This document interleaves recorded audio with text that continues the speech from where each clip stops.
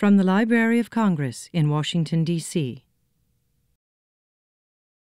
Hi, everybody. If you just arrived, welcome to the Mystery and Fiction Tent.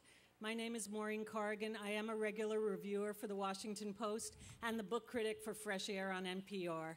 Um, thank you. Thank you. The Washington Post has been a regular sponsor of the book festival since its inception 10 years ago. And I'm happy to say I think I've been here every year through all kinds of weather, including this kind of weather, for 10 years. I am so thrilled to be able to introduce to you a writer I greatly admire, Scott Spencer. I first became a fan of Scott Spencer's when I read Endless Love, which still stands as one of the most elegantly erotic novels I've ever read. So I highly recommend it to you. I also had the pleasure of reviewing for Fresh Air A Ship Made of Paper, and both Endless Love and A Ship Made of Paper were nominated for the National Book Award. Here's an inside story about Fresh Air. Terry Gross and I sometimes tussle over authors.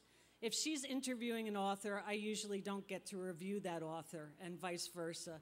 And there are certain authors we always tussle over and she won with Scott Spencer because it's her show. So she got to interview him for um, Man in the Woods, which is his wonderful new novel.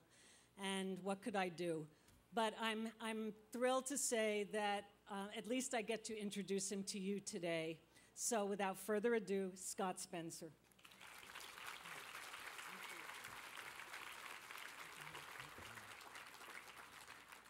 Thank you so much, Maureen. So you realize that every time you review one of my books, it gets nominated for the National Book Award, so I'm counting on you now. Excuse me. I'm going to talk a little bit about the one thing I know something about, which is writing a novel, about writing in general. And I hope that there's time. I'm going to make sure there is time for me to hear what, what you guys are thinking about, and maybe we can, even in this sort of spacious environment, get some kind of conversation going. I think there's microphones here. You know, there's a cliche that writing, that writing, that writing teachers uh, tell their students, and I think it's a cliche that goes, you know, straight to the heart of what people think about writing, and that is write what you know. You know, I've taught in I've taught in graduate writing programs, I've taught in undergraduate writing programs, and I've taught, I've taught new writers as different as you know, very well-heeled kids at Williams College up in Massachusetts to uh, prisoners in maximum security prisons. And they've all been told, write what you know. And it's not, it's not the, the worst advice you could have because you have to start somewhere. You have to go somewhere for your material. And mining your own biography and mining your own travels and mining your own life is a, is a decent place to start.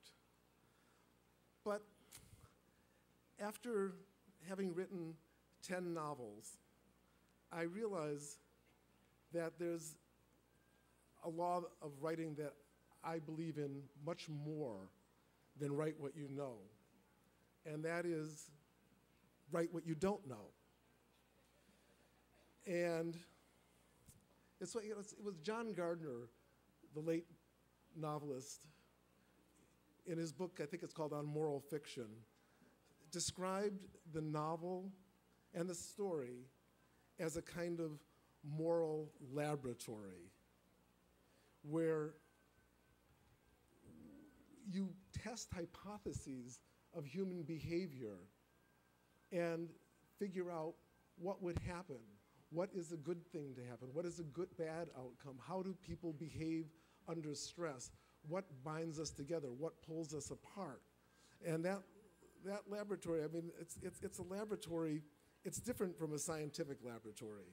I mean, if you're working for General Mills, you have a job. You have to, you have to make a little piece of rice crunchy if you put milk on it, and that's your job.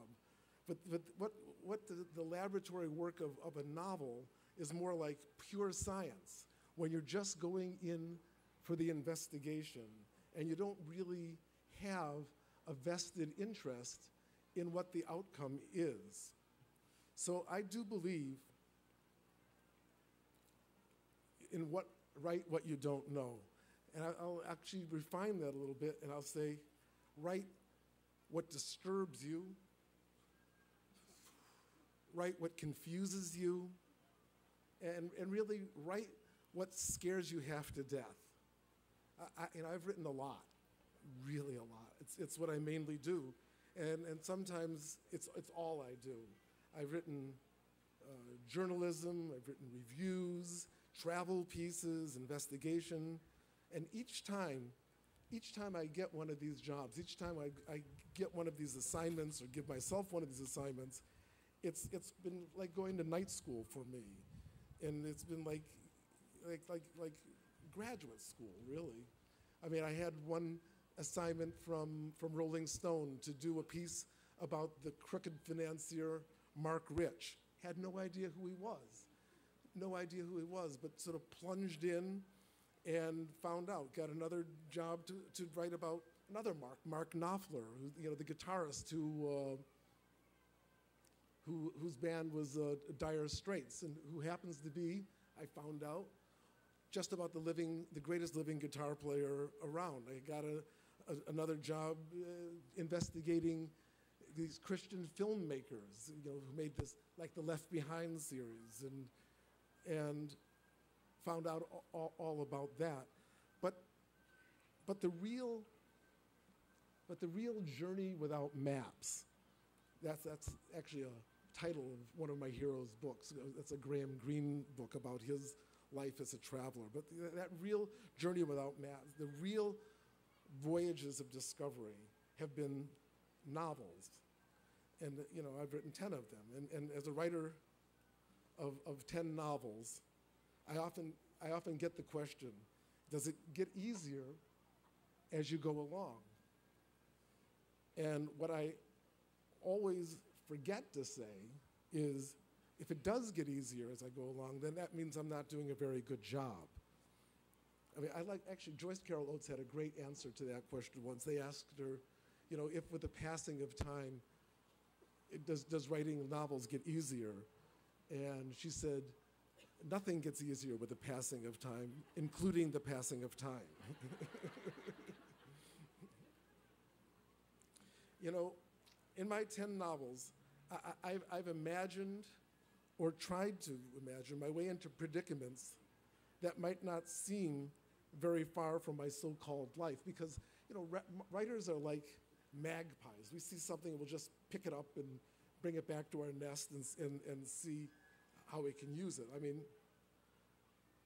like i've written about fatherhood fatherhood's something that's always been interesting to me I was very close to my father, so I'm a son. I know it from that perspective. And I'm a father with two kids. But writing about that really wouldn't take me very deep into the unknown. So what I did was write a book called The Rich Man's Table, trying to imagine my way into what it would be like if I were Bob Dylan's son and he refused to recognize me. And then in, in, in another novel, Waking the Dead, I wanted to write about my home in Chicago, but rather than just kind of recapitulate my own experience there, I wrote it from the point of view of an on the make politician who's making his way through Chicago machine politics. In, in, in, in Endless Love, I was sort of remembering my first real girlfriend, but then I was wondering what it would have been like if, when her father said I should stop seeing her, uh, if I burned their house down.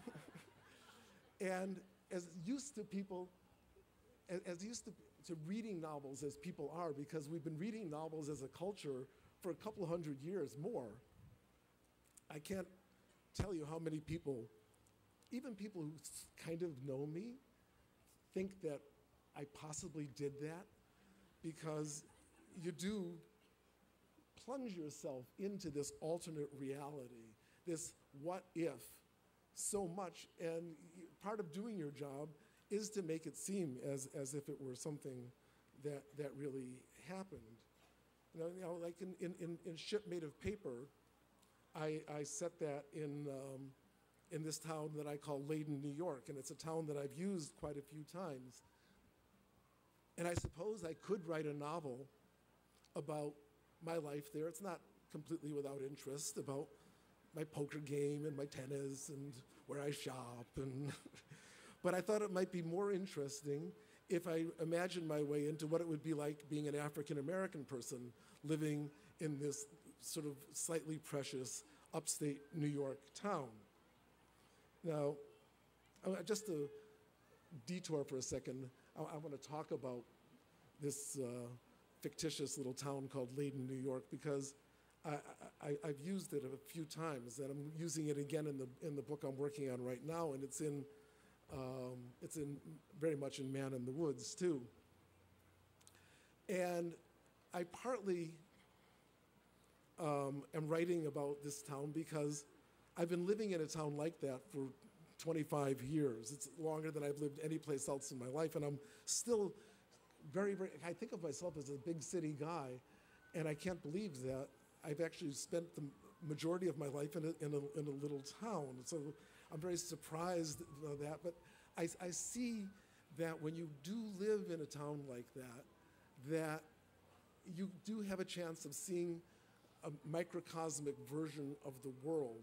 And unlike big cities where people understandably guard their privacy, there's not that much sense of privacy there's not the same kind of sense of privacy in, in a small town.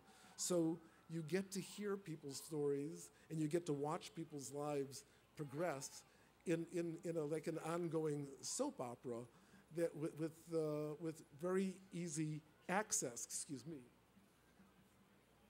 with very easy uh, access uh, to their lives. So now on to Man in the Woods, which is yet another book set in this Leyden. And I thought, I thought it was going to be, when I started off, a fairly tight and efficient book. But you know, you always have to think that. You have to tell yourself this in order to begin. You have to tell yourself it's going to be a little simpler than it's ever really going to be. But um, like every other book that I've written, it meant going on on many, many voyages of discovery and many, many reconnaissance missions, and there was an awful lot of writing about what I do not or did not know. Well, and here's a couple of the things that I had to find out. One of the things I had to find out in this book is what is the external and internal life of a carpenter. You know, John Updike always talked about this. It's One of the hardest things for novelists to do because we're so tr- strapped to our desk.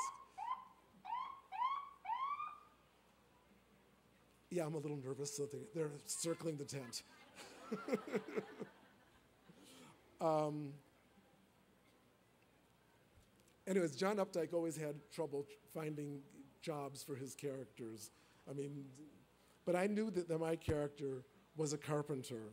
And so one of the one of the things that I needed to know, and I don't mean know just in this kind of term paper way, but I mean know in that visceral, deep way that you have to get to in order to be able to write. I, I, I needed to know what does it feel like to love wood? What, what do you smell like? What, what, what does your food taste like? What, what does it feel to be that person who knows wood as well as as, as a dermatologist knows skin or as a, an accountant knows, knows the, the tax code. And then I needed to know for this character, Paul Phillips, what does it feel like to be self sufficient? Uh, what does it feel like to be able to fix things and, and to make things and to just do it for yourself? To not have to depend on society and then all the networks of help that we have and to need basically nothing from modern life. Nothing that modern life has to offer is really of interest to you. And then, further on in the book, I needed to know what it feels like when you're getting ready to kill yourself. And especially if you're a bookie. Oh, yeah, and, and you have to live in Los Angeles too. And so this is what I found out. I'm just going to read you a quick little section here. And this, this bookie's name is uh, Tom Butler, and he's reached the end of his rope.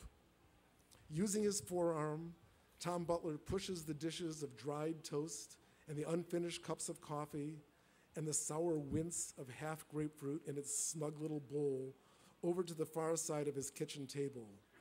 Using a paper towel, he dries the area and places 50 sleeping pills and his notebook in front of him.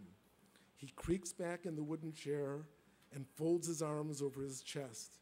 He's in his underwear, and his Hawaiian shirt is unbuttoned. This bottle of pills, this blue spiral notebook, they are all that is left of the kingdom of his life. Even the dishes and cups have receded into the darkness. The clock ticking on the wall is invisible. The exhaust fan over the cook stove is running just in case it takes them a while to find his body. As for the rest of his house, it may as well have ceased to exist. The bed, the sofa, the TV, the Bowflex, the free weights, the safe in the wall, and the world beyond these walls, the houses, the stunned palm trees, the pale yellow sky, the peonies, the gamers, the oohs and the odds, the favorites, the long shots, the spreads, the people and the money, the money that is owed and the money they owe, a dream, a dream, a dream you can't remember.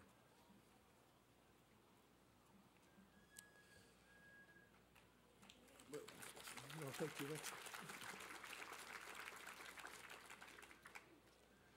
The other thing that I needed to, the, probably the most important and the most difficult voyage of discovery in writing what I didn't know in this novel is it was actually easier to imagine my way into wanting to kill yourself than it was to do this, and that is what does it feel like to kill someone?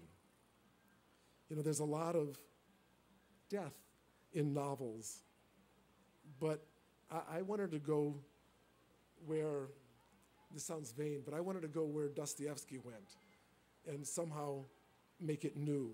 And, and, and I wanted this character who took a life, I wanted him to feel the way I would feel. And actually, I'm the best person to, to do that because nobody knows but me, I suppose. And I'm just going to read one more short section to give you a sense. And this is, this is the man thinking who has done the killing. Could it really be that simple? Could a human being be removed from the ranks of the living with little or no fuss and no consequences? What about his house? What about his belongings? Was there no one out there to come forward and say, hey, where's my husband? Where's my father? Where's my lover? Where's the man who worked for me? Where's the guy at the next desk? Where's my buddy I went to the track with every July or played cards with or jogged with? Where is that grumpy bastard with the good looking brown dog? Where's my tenant? Where's my next door neighbor? Was no one curious? Was no one making a stink? Wasn't there anyone wanting an answer? Could a man really be plucked from the body of life like a little splinter and just blow away and leave no trace of himself? But he has left a trace in Paul. And here he is carrying a black garbage bag into what he has already placed some broken Coors bottles, an empty bleach container, three crumpled cigarette packs, and a waterlogged paperback edition of Bonjour Tristesse, with his animal companion trotting a few feet in front of him. He's walking Shep the dog and cleaning the country road of the winter's debris that spring has exposed. And as he does, he hopes to remove the toxins in his bloodstream through the dialysis of good deeds.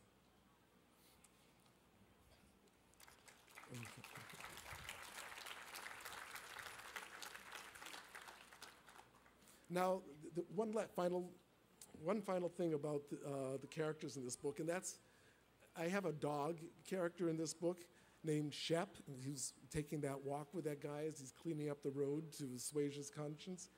And Shep is the closest thing to nonfiction in this book. And um, because Shep's my dog. and I have a dog named Shep. And I thought, you know, I feel about my dog the way everyone feels about their dog. It's like, you know, so I wanted to put him in my book, and I thought that would be, that would be at least something that I knew going in. But even, even there, even there, I, I realized I didn't know as much as I thought I did about, about my own dog. You know,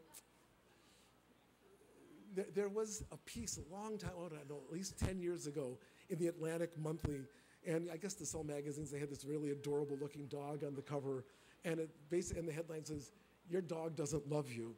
And, and it's, your, your dog is seeing other people. I don't know what it said. and, and basically his, his thesis was that all these adorable things that dogs do from, you know, panting and licking you and all the uh, loyalty is basically because you're their source of food. And I thought to myself, yeah, good, good, good for the dog. I don't want, I, I don't want that kind of relationship where somebody's just sort of slavishly devoted uh, to me. And I sort of remembered that piece and remembered my reaction to it or against it when I was portraying Shep in, in, in this novel. And then I realized that, um, that Shep really cares about three things protein, comfort, and safety. And since I am giving him plenty of all those things, I'm like, I'm like aces with, with, with, with Shep. And so Shep actually at that point became a much more interesting character to me because he was no longer just, you know, he wasn't my dog anymore. He was somebody who I was having to imagine my way into the way I had to imagine my way into Tom Butler as he's going to commit suicide, the way I had to imagine myself into Paul Phillips when he kills a man with his, with his, uh, with his bare hands. All right, I, I'm going to stop just almost mid-thought in case somebody has something they want to they want to ask because I see only have like six more minutes.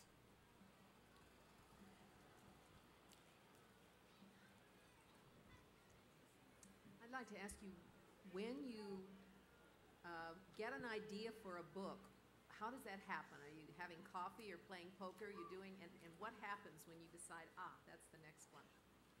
That, that's a great question. Um, I, I find that there's two lucky places for me to, to, to have my ideas.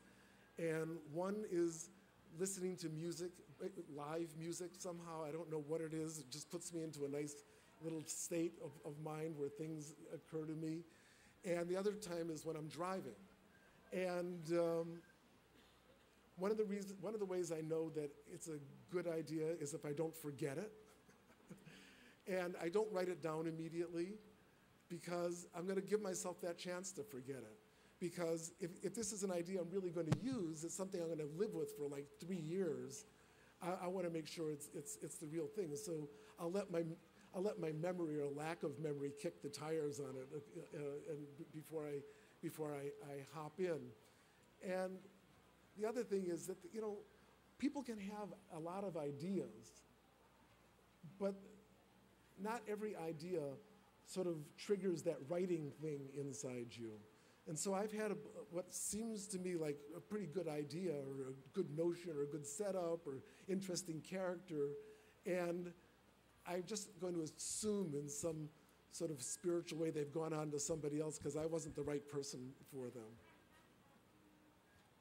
Hi, I'm a big fan of Endless Love, uh, the book, the movie not so much.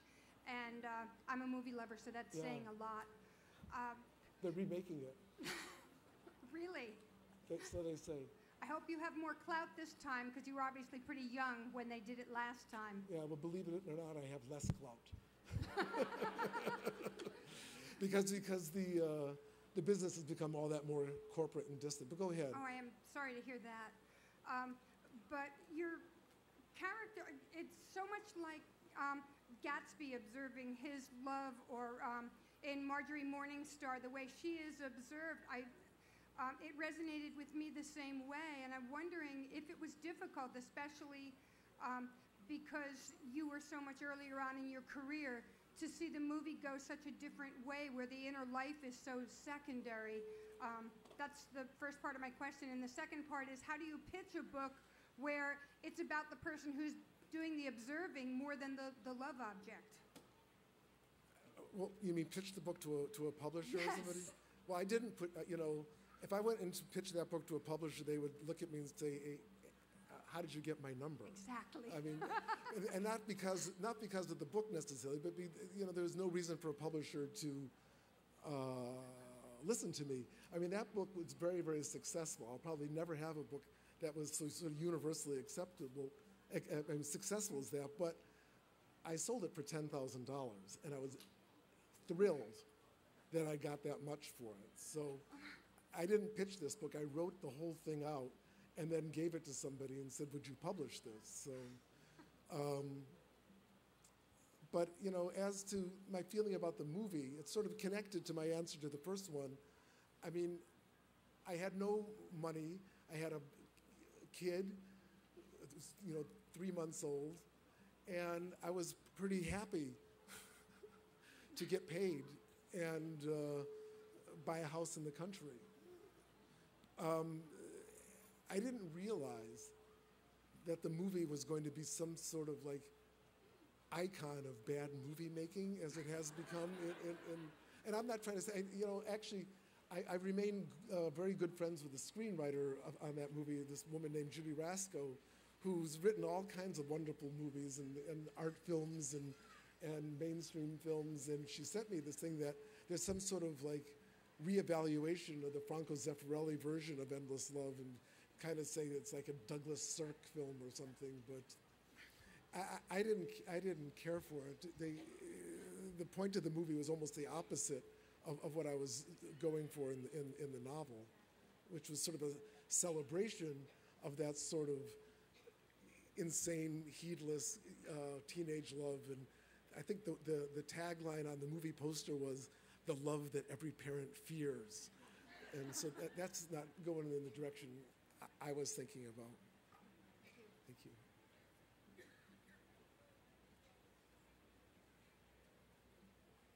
Okay, I think. Um, One more question, real oh, quick. so yeah, we have, we have one more minute. That's great. How did, how did you get past the people that dissuaded you from ever becoming an author? Um, obviously you're. Well, because they, they didn't they didn't have another suggestion for me. no. I mean, you know, in my family, making money wasn't that important. My father worked in a factory, so you know, the, there, the idea that you know I was going to starve to death or it, it, it didn't it didn't hang over me like a sword the way it would have if my father was a, a doctor or a lawyer and I felt that I had to maintain that sort of upper middle class uh, lifestyle. So I didn't really I, I mean, the, all that was standing between me and becoming an author was was learning how to do it. Okay, well, thanks for coming out. It's great to see you all. This has been a presentation of the Library of Congress. Visit us at loc.gov.